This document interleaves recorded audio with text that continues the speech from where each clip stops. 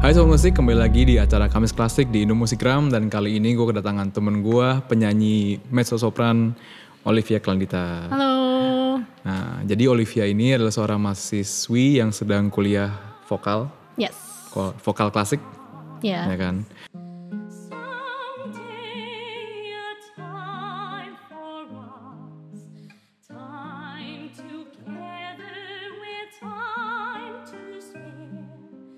Mungkin bisa diceritain sedikit Olivia kenapa lu bisa suka sama musik klasik? Hmm, sebenarnya aneh ya, umur segini tapi suka klasik. Eh, umur berapa? 35?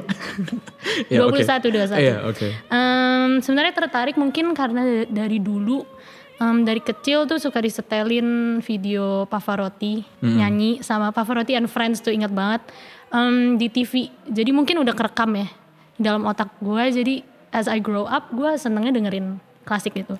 Tapi em, gue nggak pernah nyanyi sampai um, early 2017 early atau late 2017 itu karena uh, jatuh cinta sama musiknya Andrew Lloyd Webber yang Phantom of the Opera yang Think of Me itu yes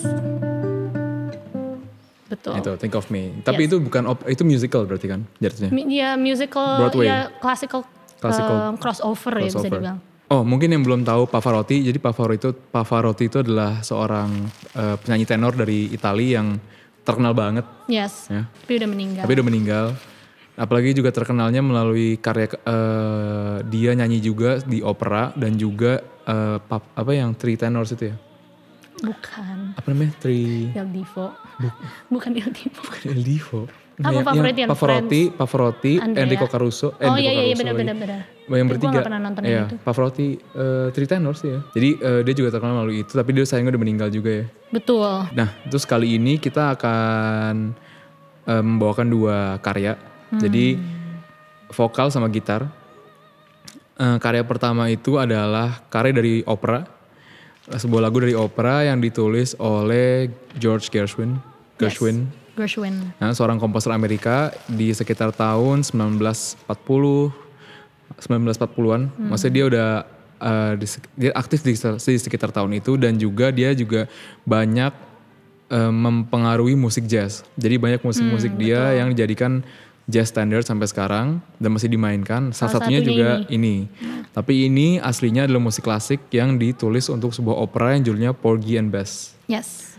yang menceritakan tentang Em, lagu ini sebenarnya lullaby yang dinyanyikan oleh peran utamanya untuk anaknya Clara gitu. Iya. Jadi it's basically lullaby aja ya, sih. judulnya Summertime. Summertime. Ya. Terus yang lagu keduanya adalah lagu dari West Side Story. West Side Story yang ditulis oleh Leonard Bernstein Yes.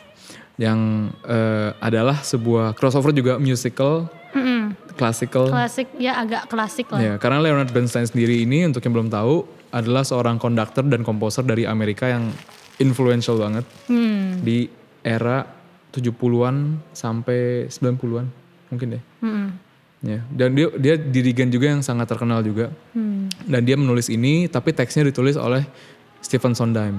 Sondheim ya. Ya, Sondheim. Tapi dia yang nulis musiknya dan musiknya emang kalau didengar orkestrasinya bisa didengar sendiri dia on another level lah. Oh beda level ya. Beda level.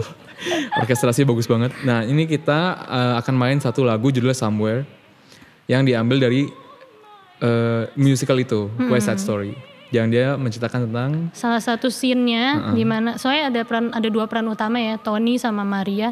Mereka itu emang nggak bisa kayak mereka saling cinta tapi mereka nggak bisa bareng. kayak Romeo and Juliet gitu lah. Mirip, mirip. Mirip. Makanya mereka tuh nyanyi somewhere em, berharap somewhere in a place mereka tuh bisa berdua gitu, bisa bareng gitu. Begitu. Nah, jadi kita akan mainkan dua lagu ini yang diaransemen untuk gitar dan vokal. Nanti video pertama eh, Summertime akan muncul setelah video ini dan di minggu setelahnya video Somewhere. Buat yang ingin follow eh, Instagramnya Olivia bisa di follow di At Olivia Klandita 17 underscore. ya. Dan yang ingin tahu tentang gitar dan ingin juga lihat konten Kamis Klasik juga bisa lihat di Instagram gue @eduardo.gitar dan juga di channel YouTube-nya Indomusikgram dan juga konten-konten lainnya. Jangan lupa like dan subscribe dan komen eh, YouTube-nya Indomusikgram. Uh, terima kasih sudah nonton dan sampai jumpa lagi. Arigato, sasageo.